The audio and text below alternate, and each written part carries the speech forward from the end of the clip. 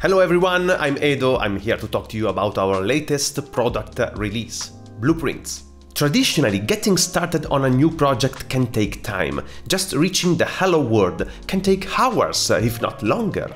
At Storyblok we have developed blueprints to give you a head start, because setup shouldn't get in the way of the creativity. With just a few clicks, you will have a fully structured project with actual source code, dynamic routing and a CMS-based layout, all deployed to GitHub and Netlify. And with Figma design templates included, you're not just launching code, you're launching a full experience. Let's get into it. Within Storyblok we will click Add Space as we normally would do to begin a new project, but now you will see Start from Blueprint. Now you will see our first two blueprints, Core and Business. As described, Core is a simple structured layout to begin building your site. It is bare bones, but allows you to get started in a new space much faster in various frameworks including Next.js, Astro, Nuxt.js, React, Vue.js, Svelte and Eleventy. The core blueprint is aligned with our technology guides, serving as the ideal technical introduction and future reference for your Storyblok journey. The business blueprint is a more fleshed out space. It contains multiple pages, including home, services, and about, and within them there are various components like page, hero, testimonials, and tabs. It's also using TypeScript and performs runtime validation of content. At the moment we only support Next.js, but we will support various frameworks in the future.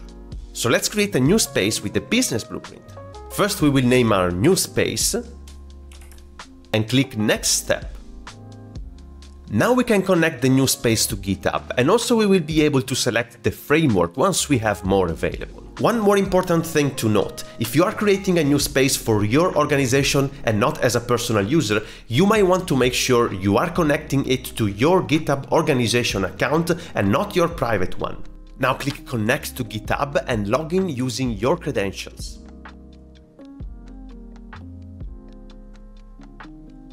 Here you will be able to select from various frameworks when they will be available, and here you can name your repository. You can now create your repository and proceed. Essentially, we have created a GitHub repository for you automatically, which contains all the source code for your new space.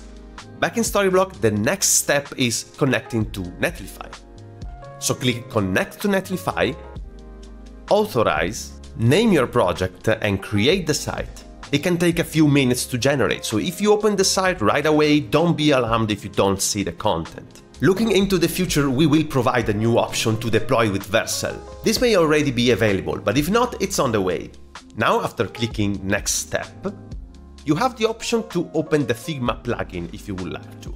Also, you can view the Figma template with all of the designs used in the Blueprint application you have selected. Finally, you can select the plan you would like to use. For the purpose of this video, we will continue with Starter. As you can see, we are now in our brand new space. Clicking on content, we can see all of the stories. Heading into the block library, we can see all of the newly created components. And entering the assets library, you will see all of the assets we have used in this starter space. Now let's check the homepage that was automatically generated. Here we can have a look at the whole page layout and the live preview is fully responsive as you can see when we edit this headline. So start your next Storyblok project with a blueprint and let us know what you think. Oh, and more blueprints and frameworks are coming, so stay tuned.